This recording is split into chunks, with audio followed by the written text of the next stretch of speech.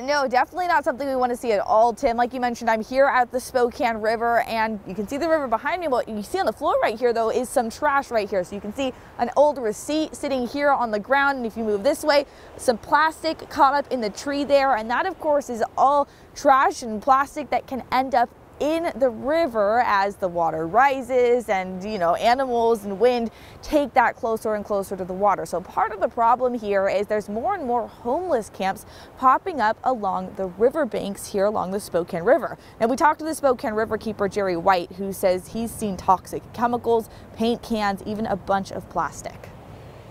Poverty has an impact we see these camps um, with no garbage service along the edge of the river, and when we have these flows come up like this in, into where people have been living, uh, garbage and other uh, housing items get washed right in the river, and then they're, they're garbage, they're, they're pollution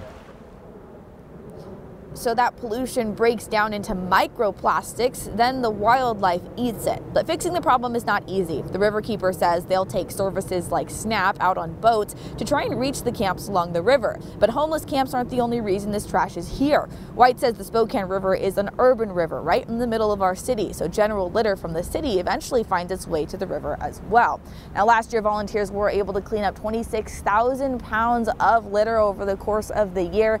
Now, this year, White says he Looking for volunteers to come out on the weekends and help with that trash pickup. In Spokane, Nicole Hernandez, KREM 2 News.